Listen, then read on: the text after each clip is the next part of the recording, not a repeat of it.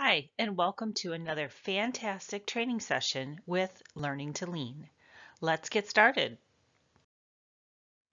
Today we'll discuss Chapter 3, Six Sigma Roles and Responsibilities.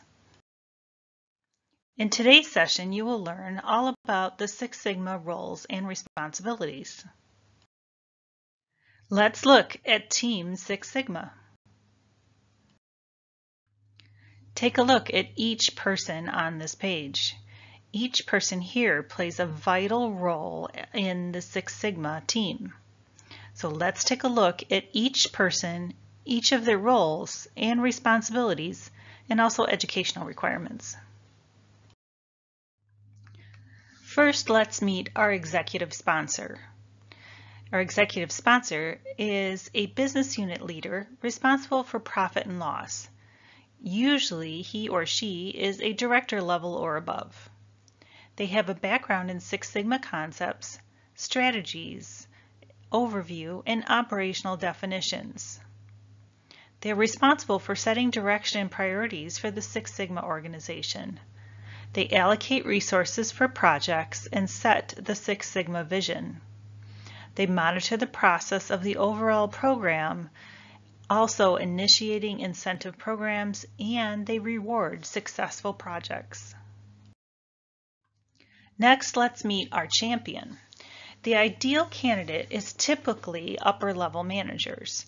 They have knowledge of Six Sigma concepts, strategies, tools, and methods, and operational definitions. They have an emphasis on management tools, and they're usually a certified ASQ Yellow Belt. Their responsibility is to be a liaison with senior management. They allocate resources for projects and determine the project selection criteria. They help to remove barriers hindering the success of the project. They approve the completed projects and they help implement change. Now let's meet the process owner. The process owner is a key role in the Six Sigma team. They are responsible and accountable for the execution and results of a given process. The sponsor or the champion could also be a process owner. The process owner has a knowledge of Six Sigma concepts, strategies, tools and methods, and operational definitions. They have an emphasis on statistical tools, and they are usually an ASQ Yellow Belt. Process owners help select team members and allocate resources for project. They provide process knowledge and review any process changes. They approve those changes and support change management. They implement change and ensure that improvements are sustained. The process owner is truly an agent of change. Now let's meet the Master Black Belt. And no, we're not talking about karate here. We're talking about someone that is trained in Six Sigma methodologies, statistical tools, basic financial tools, change management, risk management, project management, executive communication, and well experienced in teaching, coaching, and mentoring black and green belts. This is always a full-time position. A Master Black Belt is trained on Six Sigma body of knowledge, lean enterprise synergy, finance for non-financial management, risk assessment, project management, and change agent skills. Master Black Belts train the trainer, and they have presentation skills, communication skills, leadership skills, and facilitation skills.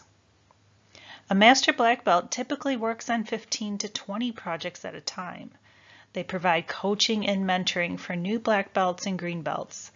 They address issues of project stagnation, also acting as an SME or subject matter expert for the organization. They review and approve completed projects, and they share lessons learned and provide inputs to rewards committee. Let's meet our black belt. Our black belt is trained on Six Sigma methodologies, statistical tools, basic financial tools, change management, risk management, project management, and are well experienced in managing black belt projects. This is always a full-time position. Black belts have an understanding of the Six Sigma Black Belt body of knowledge, lean enterprise synergy, finance for non-financial managers, risk assessment, project management. They have change agent skills, presentation skills, communication skills, and leadership and facilitation skills. They have their black belt certification through ASQ. Black belts work with champions, master black belts, and process owners for selection of projects. They address issues of project stagnation and consult master black belts. They help to remove barriers hindering the success of the project. They also update and present project progress to management. They review completed projects and share lessons learned with the extended team. Say hello to our Six Sigma Green Belts. Six Sigma Green Belts are individuals trained in Six Sigma methodologies, basic statistical tools, and process improvement techniques. This is typically a full-time position. However, some organizations make this part of an existing job responsibility. Green Belts are trained on the body of knowledge, lean enterprise synergy, presentation skills, and communication skills. They help to identify issues of project stagnation by consulting the Black Belt and Master Black Belt. They share lessons learned with the extended team. Here comes our yellow belts.